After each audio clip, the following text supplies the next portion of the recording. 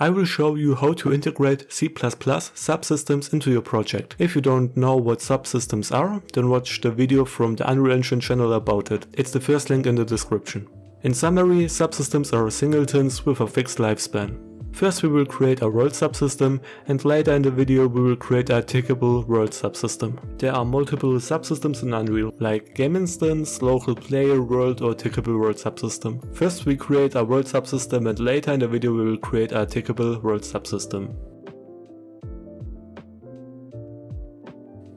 Once you selected the subsystem and the CPP files are created and compiled without errors, that's it, and the subsystem should work. For this tutorial I will show you the initialize function, a custom function and a variable you can call in Blueprint.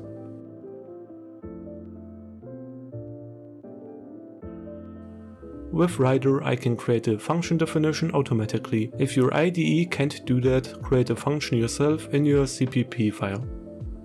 The code in the initialize function will be called every time you go into a new world instance. For our example I will create a log entry here.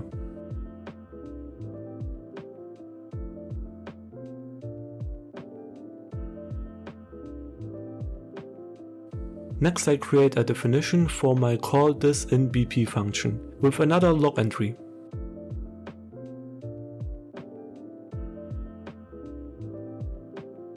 Here I would recommend you to compile the code and restart the engine. For me the engine crashed on startup, but after restarting everything worked fine. If we look into the output log, we see that our subsystem is working. Now I will create a new blueprint actor which should access the function and variable in our subsystem.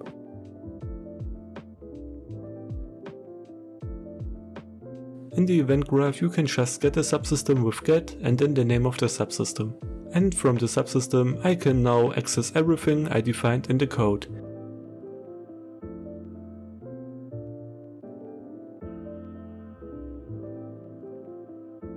I will call the function a tick to see if it works.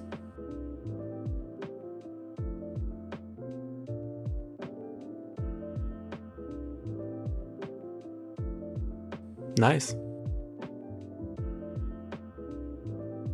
Let's have a look at the tickable world subsystem. This behaves like a world subsystem but it has a tick function. I will now create a class that inherits from tickable world subsystem.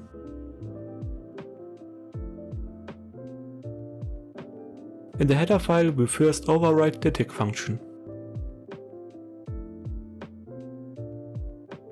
This tick function will output every tick this log. But if you try to start the game now, it will most likely crash every time and you will probably see this error message.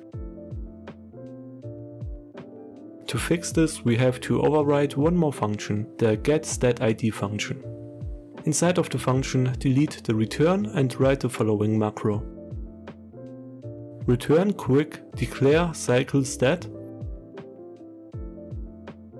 Inside of the brackets first write the name of your subsystem and secondly write statgroup underscore tickables.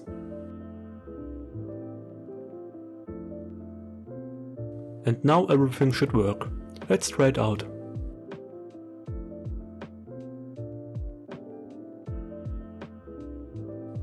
Nice! If this helped you, give a like and subscribe.